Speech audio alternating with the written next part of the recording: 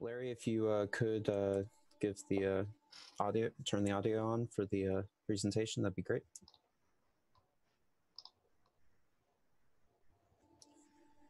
Um, all right, so uh, I'm going to start off the uh, September TAPR committee meeting. Um, so right now we only have one project to review.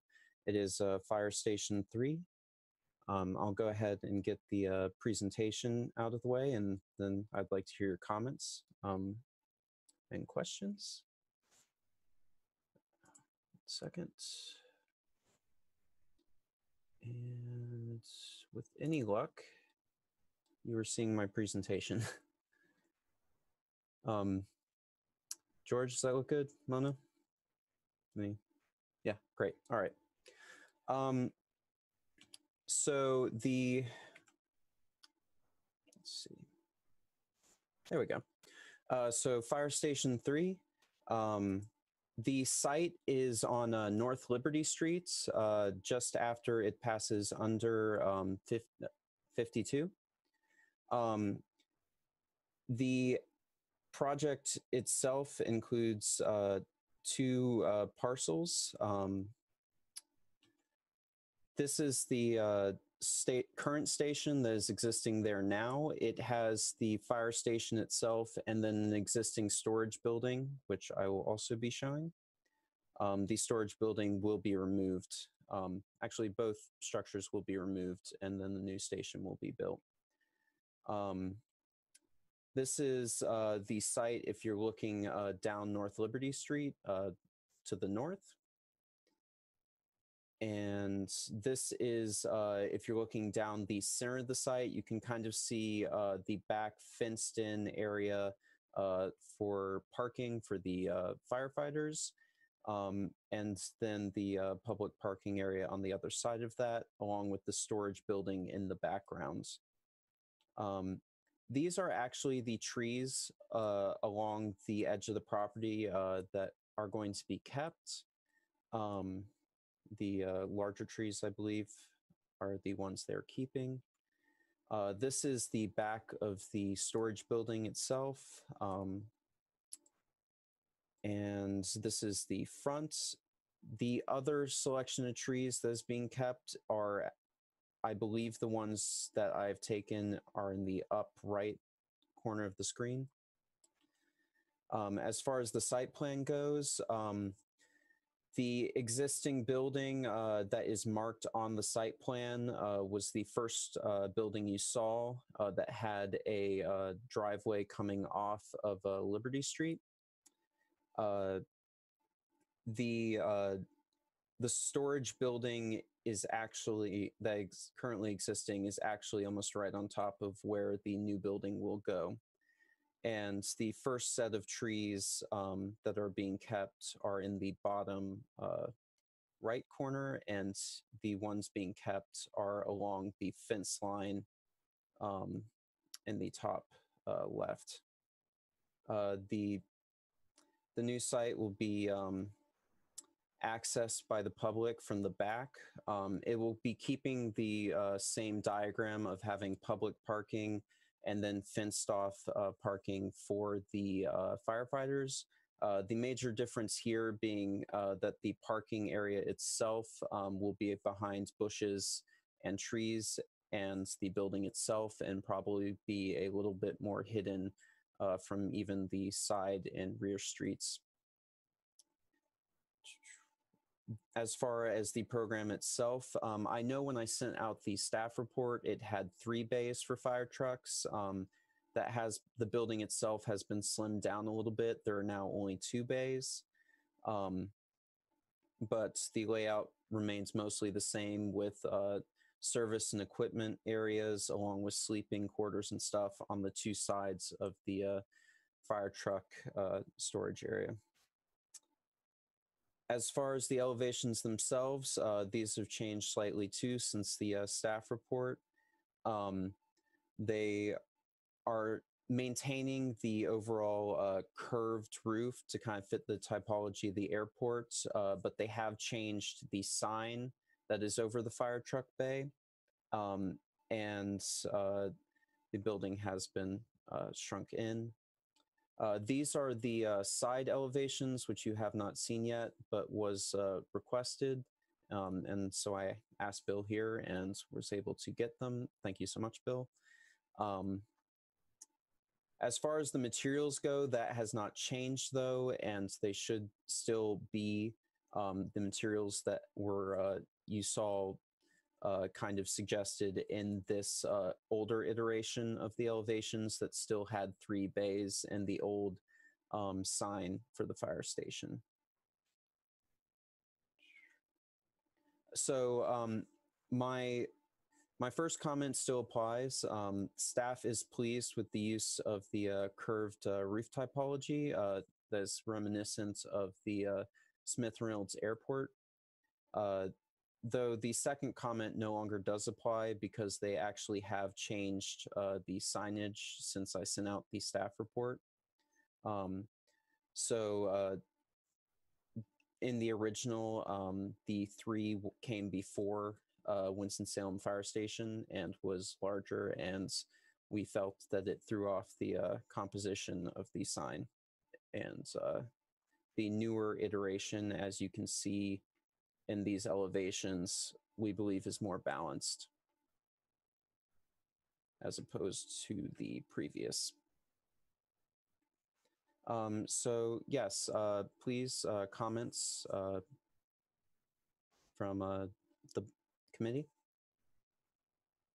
Questions?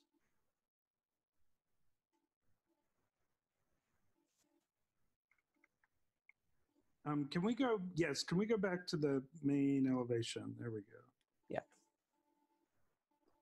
Um, what are, what's the material of the lintels over the doors and window? That's Um, precast concrete. Okay. And the curve, the curve is precast as And well? the curve will be a, uh, Alucobond. It's an aluminum panel. So it kind of ties back to the airport motif. I see. And is that the same kind of color or material as the roof or? is it- Uh, it most likely will be, yes. Okay. Great, thank you. Certain. And just to clarify, the, the third apparatus bay is being taken as an alternate. So if they have the money, they, they will build it. If they don't, then we'll stick with two bays. I see. Thank you.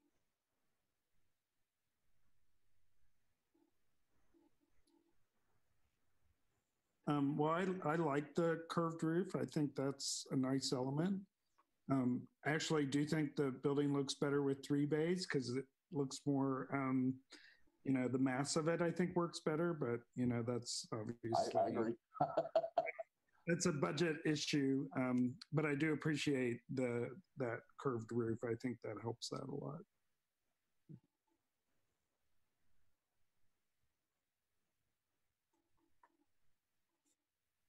I agree about the curved roof. Um, I think the two bay one, the curved roof definitely doesn't have as much of an impact. So maybe uh, raising a little bit or just making a a little like the curvature a little steeper that might help make it look a little bit more prominent.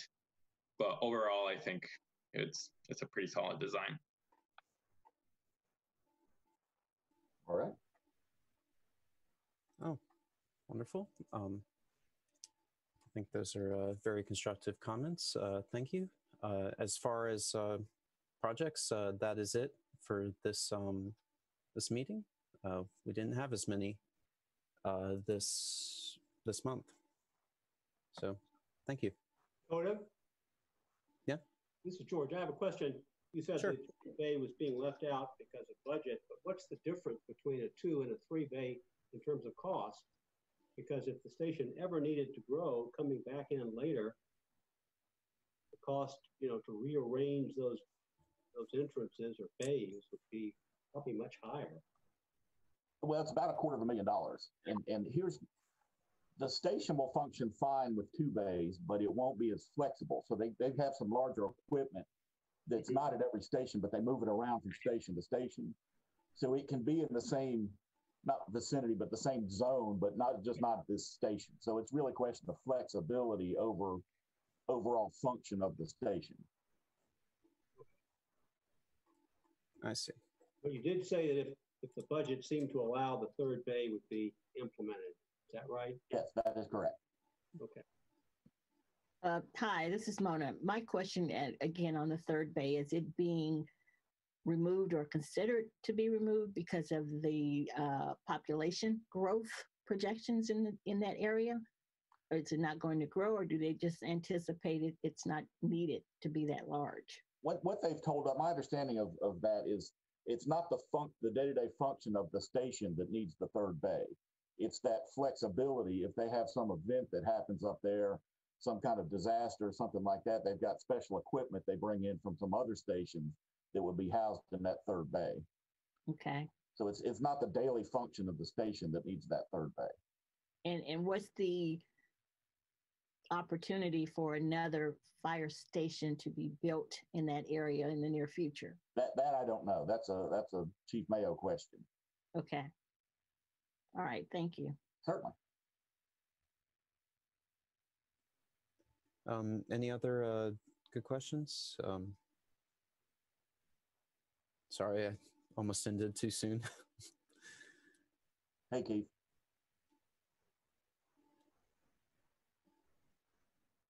um, we can't hear you, Keith. I can see you talking though.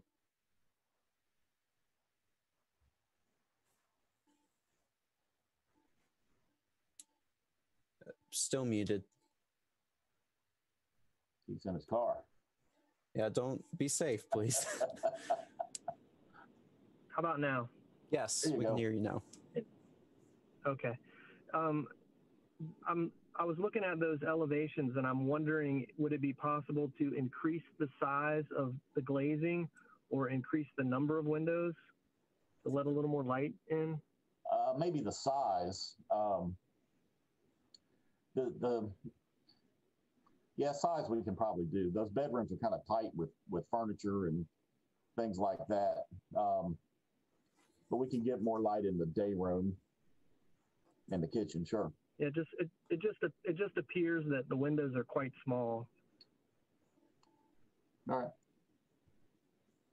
I had another question um, regarding the site plan. Regarding the site Um, plan. Okay. Uh, sure. Do you want me to bring it- that it- up? Um, yeah, if you if you don't mind. Certainly. So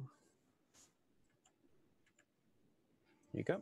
So it, it looks like the drive access, and I'm looking at this on my phone, so I can't really see, but on- on the plan south side of the entrance, Mhm. I'm not sure which street that, that is. Is that that is that where the trucks, I mean, the fire trucks would go in from the south side and exit out on the north side of the plan? That is correct.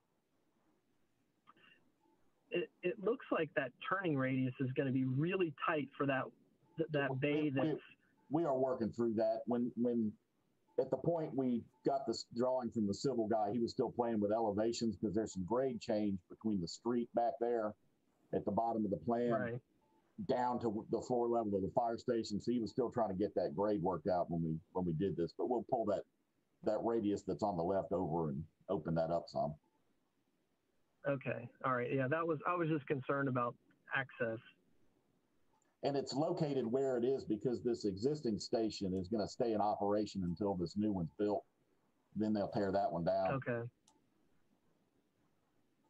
But they but they can adjust that slightly if they need to. Yes. Great. Thanks. No, no problem. Also looking here at the site plan, um, I do have a small comment about uh, maybe extending the sidewalk so that uh, the area where the firefighters actually park, um, they don't have to like trope through the parking lot just to get to uh, the sidewalk. Maybe extending it a little bit or creating a more formal entrance for them from their Yeah, own we can put a, that, that's a fenced in area, so we'll, we'll put a, a gate in the fence yeah. And let them out.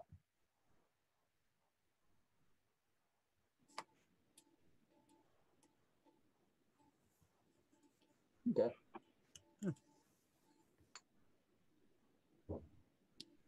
Well, those are really great comments. Um, thank you. Um, anyone else?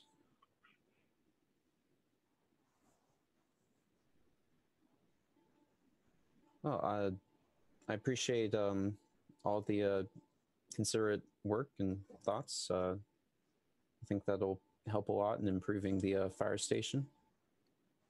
Um, if no one else has any comments, then I think that shall be the end of our uh, TARP meeting. Thank y'all. Thank you. Thank, Thanks, Bill.